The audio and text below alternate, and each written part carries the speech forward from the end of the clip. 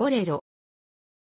ボレロは、フランスの作曲家、モーリス・ラベルが1928年に作曲したバレエ曲。同一のリズムが保持される中で、2種類のメロディーが繰り返されるという特徴的な構成を有しており、現代でもバレエの世界にとどまらず、広く愛される音楽の一つである。2016年5月1日、本国フランスにおいて著作権が消滅した。この曲は、バレエ演者のイダ・ルビンシュタインの依頼により、スペイン人役のためのバレエ曲として制作された。当初、ラベルは、イサーク・アルベニスのピアノ曲集、イベリアから6曲をオーケストラ編曲することで、ルビンシュタインと合意していたが、イベリアにはすでにアルベニスの友人である、エンリケ・フェルナンデス・アルボスの編曲が存在した。ラベルの意図を知ったアルボスは、望むなら、権利を譲りましょうと打診したが、ラベルはそれを断って一から書き起こすこととした。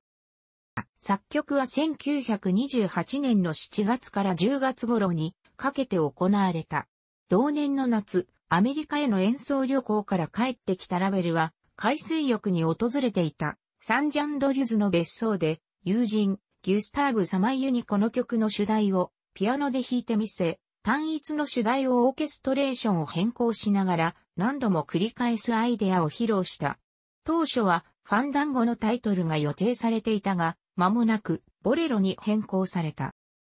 ボレロとはスペインで18世紀末頃にセギディリャの一種として作り出された3、4拍子を特徴とする舞曲。軽やかな身のこなしからボラル、飛ぶという言葉に関連があるという説がある。この舞踊は1780年にスペインの舞踏家スセレソによって創作され、ギターとタンバリンの伴奏に踊り手が一人、または二人組でカスタネットを鳴らしながら複雑なステップを踏む。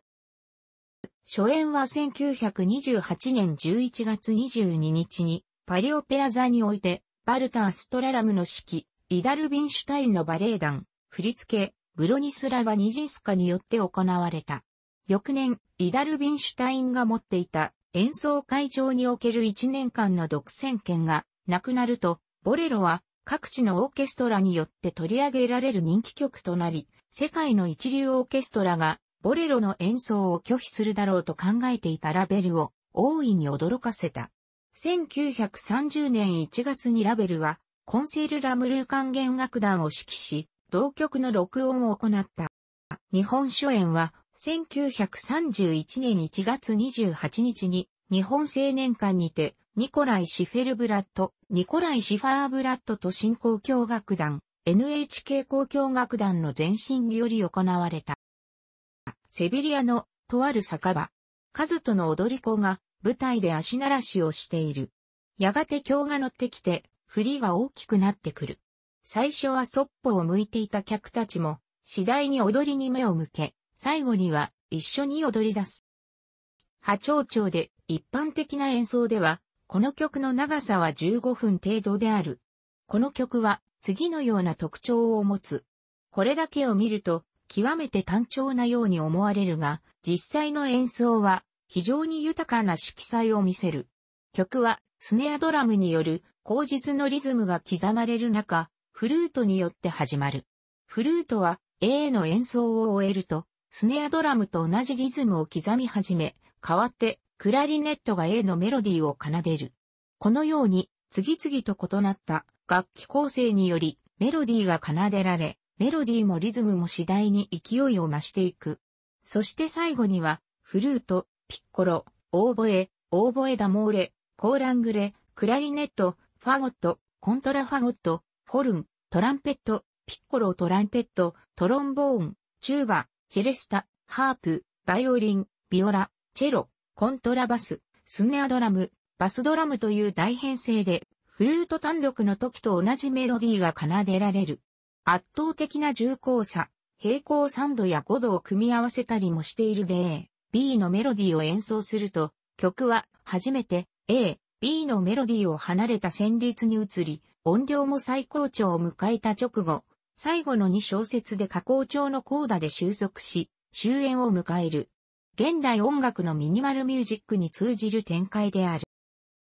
ボレロはラベルゆかりのスペインの民族舞踊であるにもかかわらず、実質スコアの研究では、トライアングルとカスタネットが作曲過程で抹消され、逆にいいクラリネットとソプラノサクソフォーンが追加されるなど、そのルビンシュタインのスペイン人役という出自に反して民族色が消された上、ラベルが立ち会った録音は、送付の指示あるいは舞踊としてのボレロよりテンポが遅いものばかりで、指揮者のトスカニーニの実演に接したラベルは、そのテンポの速さに激怒し、トスカニーニと口論にまでなったという。しかし、ラベルの弟子のマニュエル・ロザンタールは、著書、ラベルその素顔と音楽論の中で、この有名な逸話は真実ではないと語っている。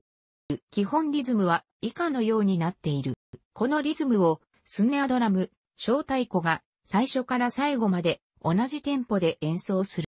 メロディはパターン A、16小節とパターン B、16小節があり、この2つのパターンが以下のように繰り返される。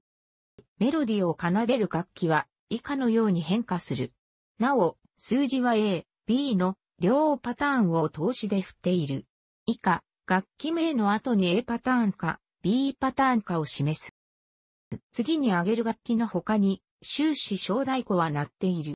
曲中、旋律が完全に平行音程で重ねられている箇所があるが、オーケストラの中で非常に新鮮に響く。この効果はパイプオルガンで日常的に使用される倍音の組み合わせを取り入れた手法と異れている。実際にそうする鍵盤にとって倍音関係にある音の発音されるパイプ群が平行音程を保って装備されており、それらを自在に組み合わせることによって、主事の倍音構成を特徴づけるという術は、パイプオルガンにおいて複雑な音色を生み出す上等手法である。上記9箇所においては、ホルンの実音が気音とみなされ、それに対して第2倍音をチェレスタが、第3倍音をピッコロが、第4倍音をチェレスタが、第5倍音をピッコロが、それぞれの楽器の実音によって重ねられることで、輝かしい音色が生み出されている。